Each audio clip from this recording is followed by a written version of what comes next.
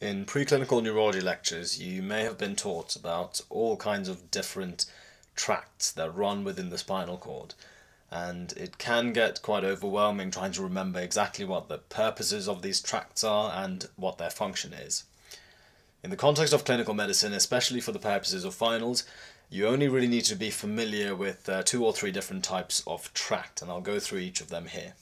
So here we have a cross section of the spinal cord, and we have a few critical areas that are marked and these are the only ones that you really need to know to be able to answer various exam questions.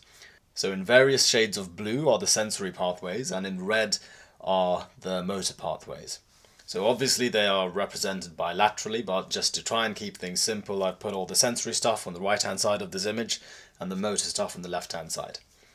So remember that with the spinal cord the dark matter is right in the middle and the white matter is on the outside, so it's sort of the inverse of what we get in the brain. And the dark matter consists of all of the cell bodies, so where various synapses form, whereas the white matter is just the tracts of the neurons. So at the back of the spinal cord, we have the dorsal columns, and these are responsible for fine touch, vibration, and proprioception. So they are ascending columns because they take information from various sensory receptors and transmitted up to the brain. We also have the spinothalamic tracts marked over there in dark blue, and they are responsible for pain and temperature sensation. We also have something called the spinocerebellar tract, which is responsible for conveying proprioceptive information up towards the cerebellum. For the purposes of exam questions, it's slightly uh, less important, so don't worry too much about that. Just keep an eye on where the dorsal columns and the spinothalamic tracts are.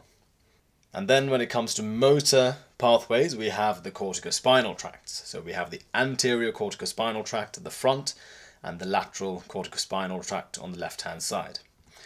And these are responsible for voluntary motor control. So they are descending pathways because they transmit motor commands from the primary motor cortex down towards the muscles that actually produce the actions required. So we've spoken about the arrangement of the spinal cord. The next thing we need to try and piece together is the actual pathway that links up the brain to whichever peripheral organ or muscle is being innervated. So with fine touch vibration and proprioception, remember is obviously an ascending pathway because it's transmitting information up towards the brain from the peripheral receptors. So we initially have the sensory receptors, perhaps in your skin or wherever, and then we have a first order neuron which goes in to the spinal cord and then goes straight up the dorsal columns on the ipsilateral side. And then within the medulla, it synapses with a second order neuron, which then crosses the midline and goes up towards the thalamus, where it finally synapses with a third order neuron, which carries that information up to the primary somatosensory cortex. So the pain and temperature pathway is quite different. So it begins with nociceptors, which are specialized receptors for pain uh, found within the skin and various other tissues. And the first order neuron travels to the substantia gelatinosa, which is within the grey matter of the spinal cord. And then at the level that that first order neuron has entered the spinal cord, it will synapse with a second order neuron, and then it will immediately cross the midline and then ascend up the spinothalamic tract and to the thalamus. So important point to remember is that the spinothalamic tract or the pain and temperature pathway crosses the midline at the level at which the neurons enter the spinal cord. And then from the thalamus, similar to the fine touch and vibration pathway, the third order neuron will transmit that information from the thalamus to the primary somatosensory cortex. So one thing I used to find quite confusing with medical school exams was when we were asked questions about things like cord compression or disc prolapse, and it was really hard to actually envisage what was going on within the spinal cord itself. So here I've tried to depict what it would look like if you're looking sort of front on at uh, a vertical spinal cord.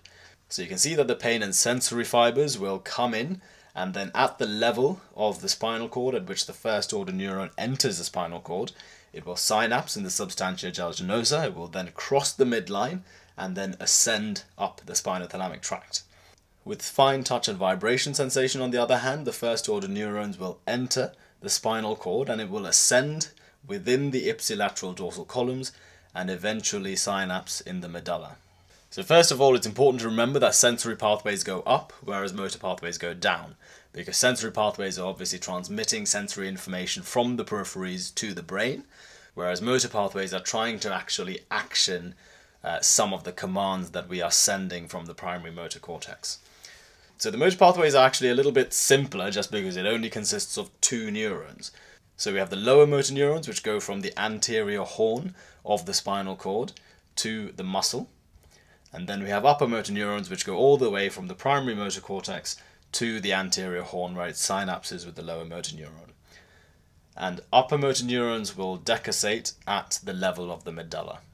So this is an important diagram to pay attention to because sometimes you will see questions talking about how someone has had um, some sort of metastatic cord compression and it's caused upper motor neurons in a certain distribution and then it's caused lower motor neuron signs in a couple of very specific places. And this diagram explains that quite well. So you can see here that at any given spinal level there will be lower motor neurons exiting the spine and then there will also be upper motor neurons that travel down further before they synapse with their respective lower motor neurons. So this is why it's important to remember that uh, cord pathology that happens uh, above the level of the cauda equina will cause some upper motor neuron signs and lower motor neuron signs. Thank you.